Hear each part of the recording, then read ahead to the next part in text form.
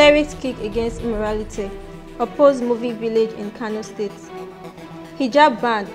Muslims express victory over court judgments. Fraud allegations denied by the National Hajj Commission of Nigeria. House of Rep. Jibrin threatened over budget scandal. Assalamu alaikum warahmatullahi wabarakatuh. Welcome to iMedia News. I am Toibat Anifowoshe. Now the news in detail. In a bid to protect the integrity and moral sanity in Kano State, an Islamic cleric, Malam Abdullah Usman Gado Kaya, has urged Muslim faithful to protest against the proposed movie village in Kano State. This movie village will be in honor of President Muhammadu Buhari, while arguing that movie industry would attract strangers from all over the world who might practice immorality and destroy the established Islamic doctrines in the states. He, however, advised that the industry be transferred to other states who might welcome the idea.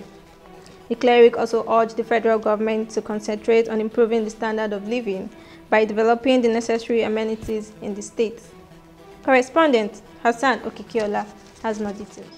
Uh, well, on moral justification, I think I agree with uh, the opinion of the scholars that uh, we have to also look at uh, the moral question that, that will arise when you have such a village in Kano.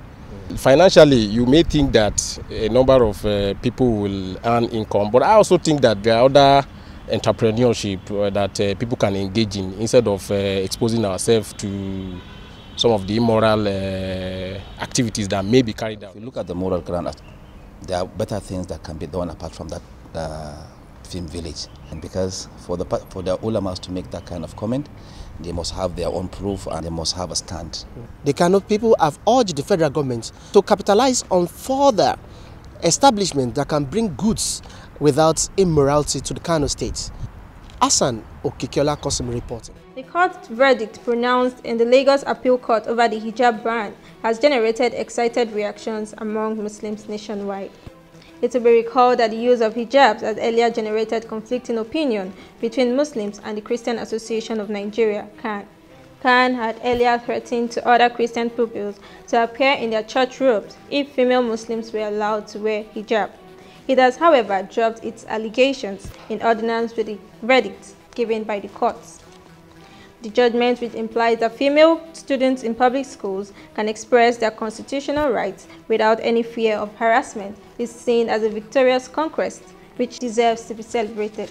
In a related development, the Army Headquarters Education Corps has also approved the use of hijab in all command schools, and its provisions would be effective from September resumption.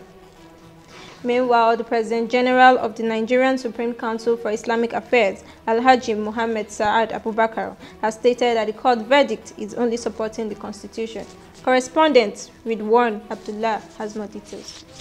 The Court of Appeal in Lagos State passed the judgment that Muslim female children can use hijab in the public school. This has generated a jubilation among Muslims. I'm very happy that um, the court has taken that step.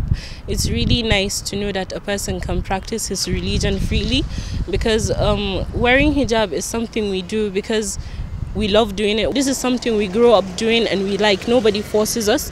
Our parents don't tell us we have to do it. And then I feel schools uh, prior to this telling students they can't wear their hijabs, close their hairs when it's something that they want to do. It's not something that they're being forced. It's wrong.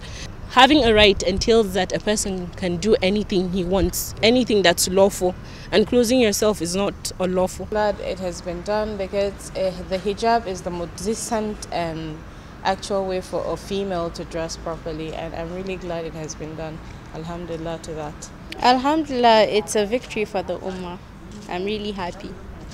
From iMedia, Ridwanullah Abdullah reporting.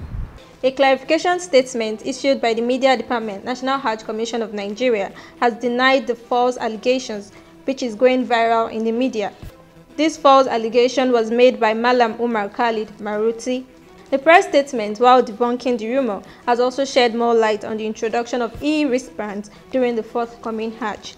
The e-bands will be issued to the pilgrims to guarantee adequate security and guidance. The pilgrims will be able to communicate with the control room as this will add to the smooth operation which NAHCON had sustained for nearly a decade.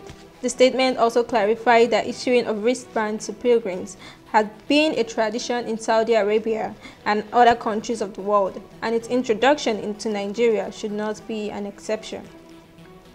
It has urged the public to discredit the allegation that the pilgrims were charged 25,000 naira and also advised the Muslim faithful to ignore baseless statements made by elements willing to tarnish the image of the Commission and Muslims in general.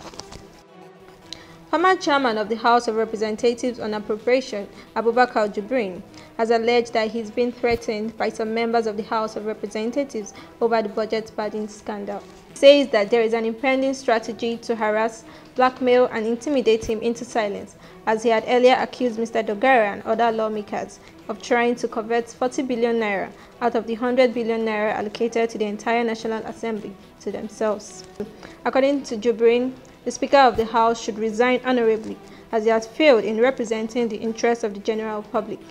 He thereby urges his colleagues and the general public to conduct a special investigation which will confirm his allegations. It will be recalled that Jibrin had been an ally of the Speaker and had only recently been removed as the chairman of the Committee on Appropriation over the abuse of position. Also, Mr. Dogara has ordered Jibrin to withdraw his allegations as other House members have threatened to take the issue as far as EFCC and United Nations for further investigation. The All Progressive Congress APC has, however, remained silent on the issue. That's it on iMedia News today. I am Toibat Anifowoshe. For more information, download our iMedia TV app and subscribe.